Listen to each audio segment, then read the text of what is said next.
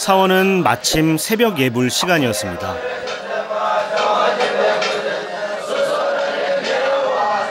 매일 새벽 5시에 일어나 불경을 외우는 것으로 하루를 연다는 치미학항 사원의 스님들.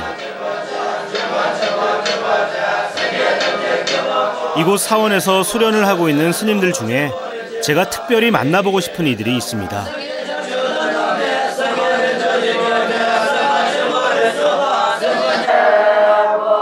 까까머리, 작은 몸에 붉은 법복을 입은 바로 이 동자승들입니다.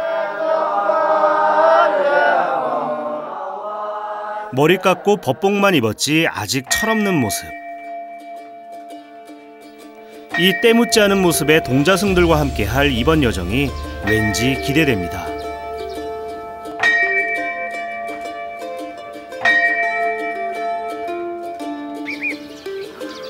드디어 새벽 예불이 끝났습니다.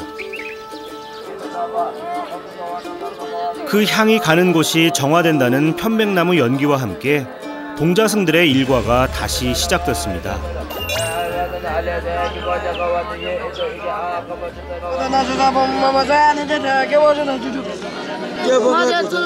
이번엔 경전을 학습하는 시간.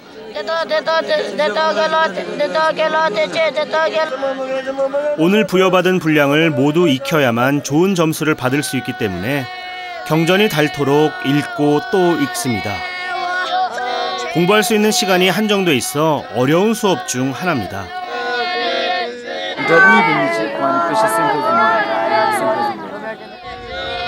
승려가 되는 길이 참 쉽지 않습니다. 하지만 부탄 사람들은 집안마다 한 사람 정도는 꼭 출가하기를 원합니다. 그래야 집안이 평안해질 수 있다고 믿기 때문이죠.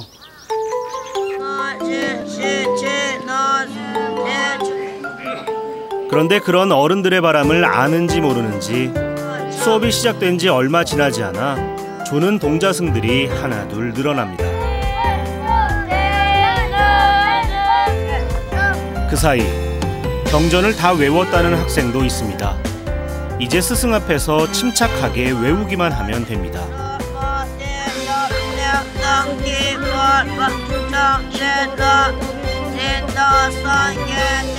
시험 결과는 다행히 합격인가 봅니다.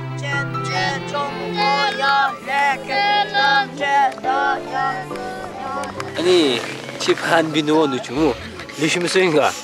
아, 아, 리시무소인. Yes, he did good. 친구의 합격에 자극을 받았는지 졸던 동자승들이 일제히 공부 삼매경입니다. 또 한 명이 스승 앞에 섰습니다.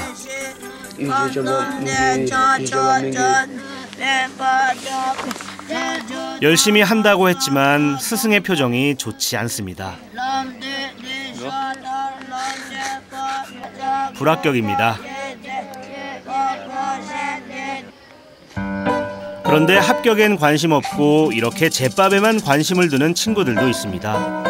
올 초에 출가했다는 새내기 동자승들입니다.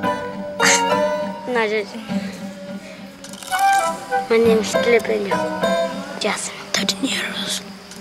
13 years. 동자승들 사이에 희비가 엇갈리는 가운데 오전 수업은 이렇게 끝이 났습니다.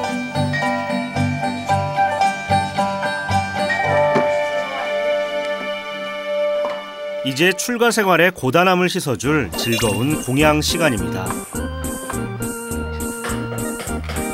하지만 동자승들에겐 공양 시간 역시 수련의 연속입니다. 먹기 전에도 이렇게 경전을 외우는데요.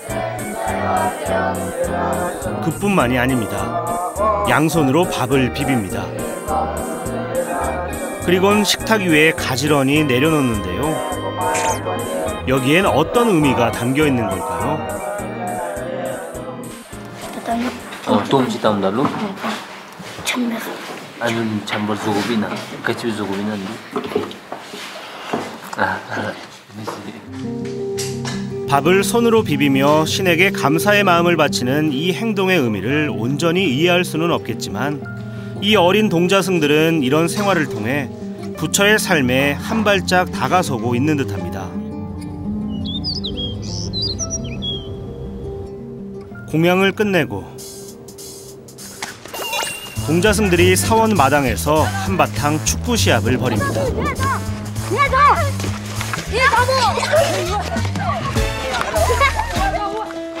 운동할 때도 영락 없이 그 또래 아이들 같습니다.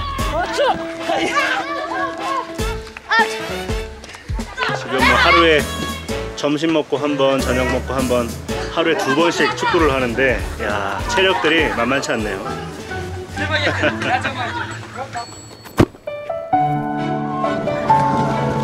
동자승이 되던 첫날 멀리 집 떠나는 것도 서러운데 머리까지 밀어 엉엉 울었다는 아이들.